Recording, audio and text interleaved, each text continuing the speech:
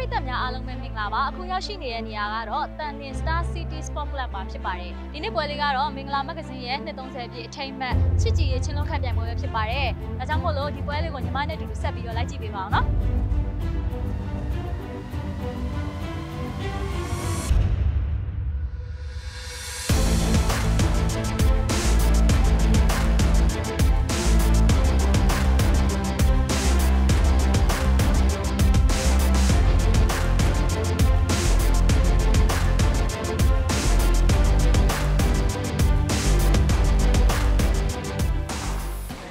ကိုဟုတ်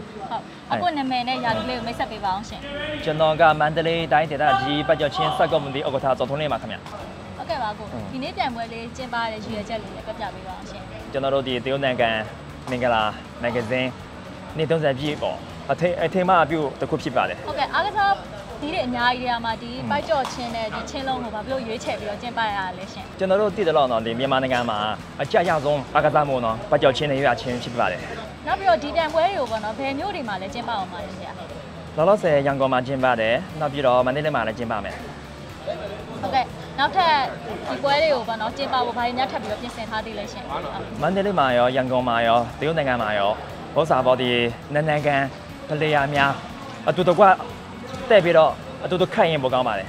အဲပတ်ကျော်ချင်းနဲ့ချင်းလုံးပေါ်အတူတူခတ်ရင်ပိုပြီးတော့ဆင်ပြေပါတယ်ကျွန်တော်ဒီလိုရည်ရွယ်ထားရည်ရွယ်ချက်ထားပါတယ်ဗျာ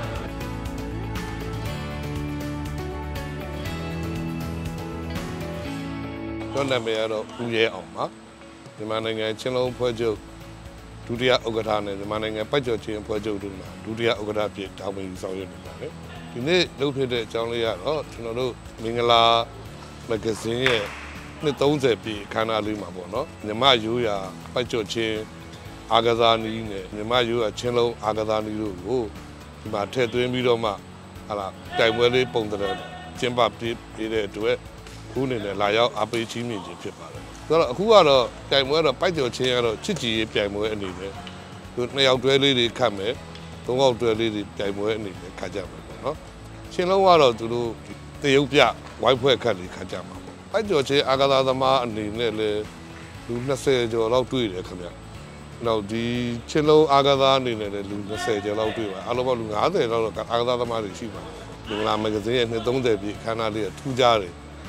အဲ့တော့ညမရိုးကချင်းလုံးနဲ့ပိုက်ကြော်ချင်းပြိုင်ပွဲချစ်ကြည်ပြိုင်ပွဲတွေလုပ်ပြီးကျင်းပတယ်ဆိုတဲ့အတွက်ကျွန်တော်ကဂုဏ်ယူတယ်ပေါ့နော်ဟာလာအခြားတပည့်အခမ်းအနားတွေလုပ်လို့ရတဲ့အချိန်ကလိုက်မှရှိနေတဲ့မှာချင်းလုံးအာကစားရဲ့ပိုက်ကြော်ချင်းရဲ့ဟိုသူတို့ထည့်သွင်းပြီးတော့ဒီခမ်းအနားလေးလုပ်တယ်ဆိုတဲ့ဟိုကဒါကျွန်တော်အနေနဲ့ဒါမြန်မာနိုင်ငံပိုက်ကြော်ချင်းဖွဲ့ချုပ်မြန်မာနိုင်ငံချင်းလုံးဖွဲ့ချုပ်အနေနဲ့အရန်ကိုဂုဏ်ယူမိလို့ ကျွန်တော်အဲ့ဂုံယူစကားလေးတွေပြောကြားပေးတယ်ပေါ့နော်အဓိကကတော့ကျွန်တော်တို့အာကစားနဲ့ပတ်သက်ပြီးတော့ပေါ့နော်တရုတ်မြန်မာချစ်ကြည်ရေး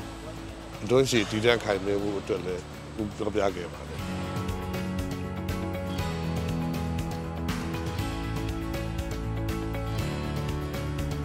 မင်္ဂလာပါကျွန်တော်နာမည်ကအောင်ပြေဖြိုးဦးပါ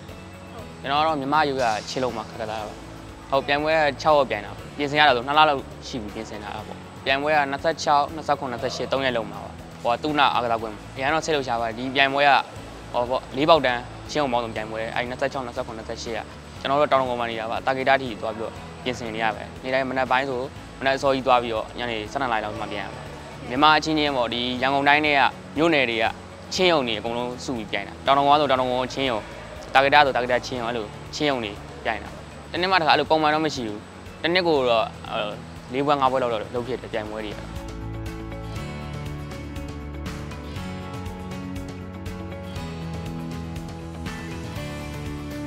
အခုမြင်တွေ့နေရတဲ့မြင်ကွင်းကတော့ရန်ကုန်မြို့ Star City Sport Club မှာကျင်းပတဲ့မင်္ဂလာမဂ္ဂဇင်းရဲ့230ပြည့်အထိမ်းအမှတ်ချစ်ကြည်ရေးချင်းလုံးပြိုင်ပွဲကိုကျင်းပနေရပါဒီပြိုင်ပွဲကိုရန်ကုန်မန္တလေးမြို့ပြင်တရုတ်နိုင်ငံတဲဟုန်ပြည်နယ်မှာလက်ဆက်လက်ပြီးတော့ကျင်းပသွားဖို့ရှိပါတယ်ရှင်ကြည့်ရှုအားပေးခဲ့ကြတဲ့ဗီဒီယိုပရိသတ်များအားလုံးကိုကျေးဇူးတင်ပါတယ်ကျမတို့ဗီဒီယိုကကြီးကန်းကုန်ခိုင်ပါ